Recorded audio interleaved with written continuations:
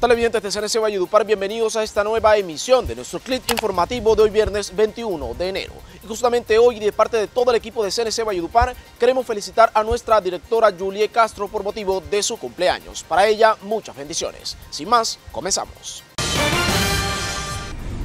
Siendo atendido por personal médico y a la espera de una cirugía, se encuentra un equilibrista de un circo quien cayó de varios metros de altura mientras realizaba una de sus actuaciones aquí en Valledupar. La situación quedó grabada en video.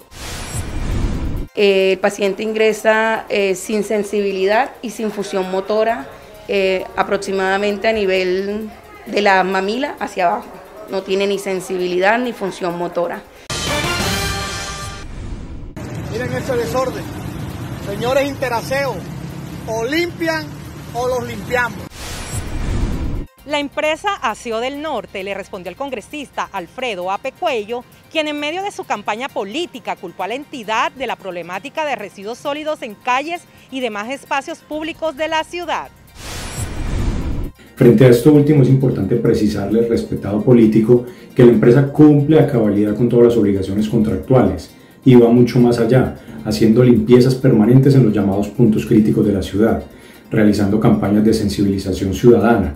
Cabe resaltar que la competencia de desescalar y eliminar dichos puntos críticos es de la autoridad local y policía, de acuerdo con la normatividad legal en materia de aseo público.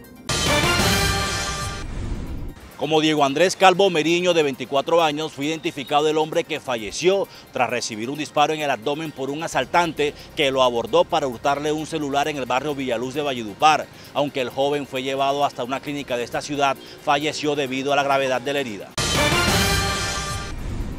La madrugada de este viernes se registró una conflagración al interior de una recicladora ubicada en el sector de Los Amaneceres del Valle, aquí en el sur de la capital del departamento del Cesar. La situación que no dejó heridos ni víctimas mortales fue atendida por dos máquinas de bomberos y además por efectivos del SMAT.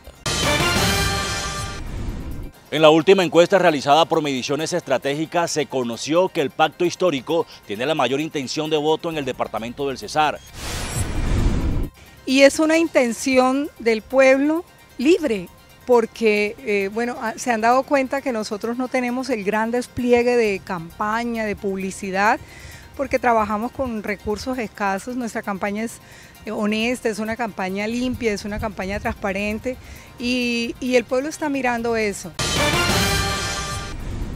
mientras que algunos mandatarios del departamento del Cesar cancelaron las fiestas patronales debido a la actual situación del COVID-19, el alcalde de Bosconia, Edulfo Villar, se empeña en la realización de la fiesta San Juan Bosco que se efectuará en los próximos días.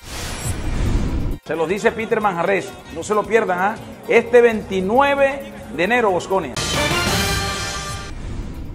En medio de un atraco, dos hombres fueron heridos a balas por sujetos armados cuando se encontraban en una vivienda ubicada en el barrio Garupal de Valledupar. Una persona que se encontraba cerca del lugar se enfrentó a tiros con los delincuentes, hiriendo a uno de ellos que se marchó del sitio con los otros asaltantes. De inmediato, los afectados fueron trasladados hasta un centro asistencial de esta ciudad.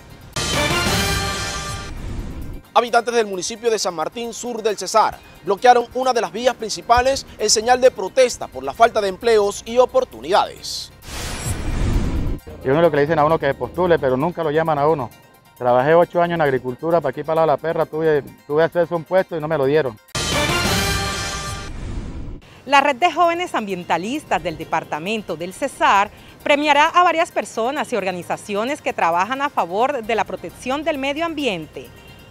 Entre los galardonados se encuentra Adelis Gutiérrez, animalista de Valledupar, quien se destaca por su labor para los que no tienen voz. Esto nos alegra y nos impulsa a, seguir adelante, a seguir luchando, a seguir defendiendo los, objetivos de desarrollo sostenible. Eh, detrás de mí hay un gran, gran, gran equipo al cual agradezco y siempre voy a estar eternamente agradecida.